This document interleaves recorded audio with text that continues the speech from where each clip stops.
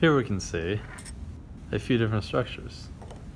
First off, this purple structure is the spleen, which sits on the most left aspect of the pancreas.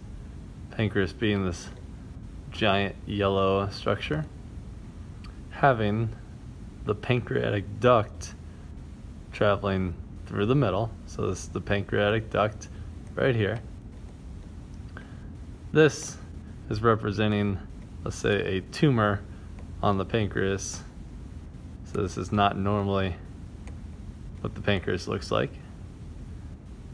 But as we travel down, we'll see that the pancreatic duct meets with the common bile duct and enters the duodenum. That's this structure here, the first part of the small intestine. And this specific spot, we zoom on in, where it enters, is called the hepatopancreatic ampulla.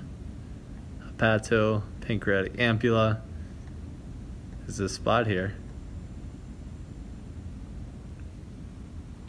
Moving out, you can see the gallbladder.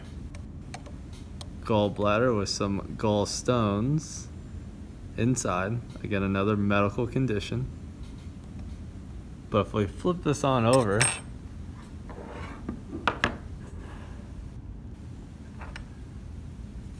now we can see the gallbladder